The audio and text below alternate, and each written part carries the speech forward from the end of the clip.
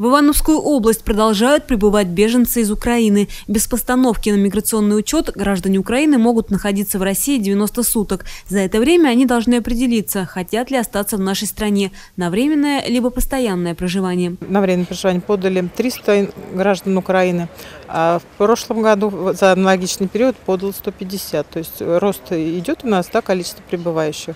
За убежищем у нас в настоящий момент подали 42 человека, обратились, 15 человек обратились обратились за статусом беженца. Совсем недавно правительство России добавило Ивановской области 500 резервных квот для выдачи разрешений на временное проживание гражданам Украины. В Иванове и Комсомольске подготовлены центры для временного размещения. Количество украинцев, находящихся там, все время меняется. Многие уезжают из региона, не найдя здесь работу по специальности, или перебираются к родственникам из соседних областей. Те же, кто остаются, могут оформить документы в сжатые сроки по месту пребывания. Если, к примеру, раньше из Кинешма, из Вичуки, это достаточно далеко, да, приезжали к нам сюда в управление целыми семьями, ну, это достаточно затратно. Прием осуществляем в территориальных подразделениях теперь.